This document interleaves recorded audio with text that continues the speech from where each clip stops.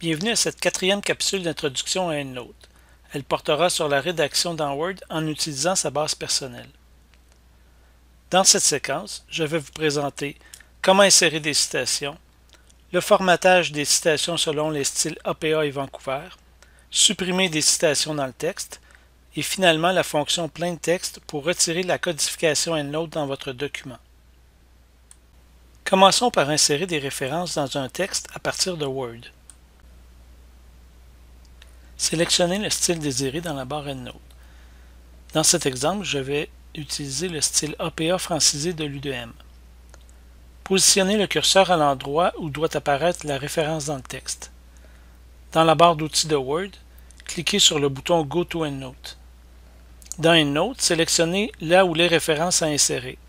Puis, retournez dans Word et cliquez sur Insert Citation puis Insert Selected Citations.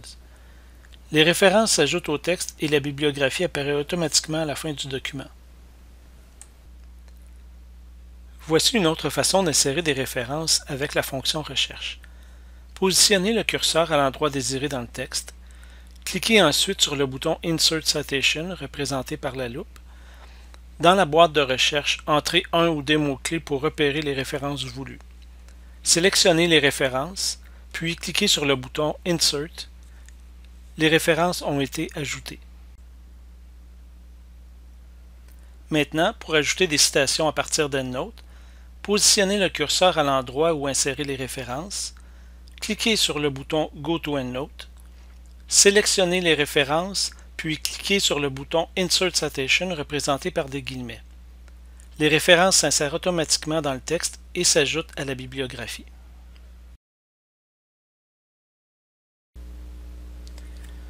Le style sélectionné, APA francisé de l'UDM, est de type auteur-date. Il est possible de le modifier pour un style de type numérique comme Vancouver francisé UDM en le sélectionnant dans le menu déroulant.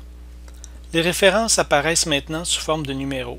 La bibliographie s'est aussi adaptée en conséquence.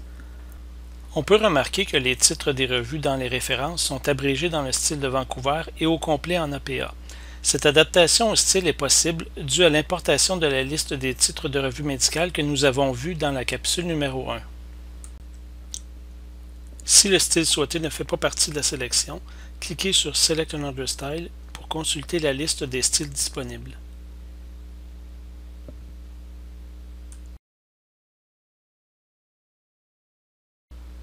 Pour supprimer une référence dans le texte, placez le curseur sur celle-ci puis cliquez sur Edit and Manage Citations.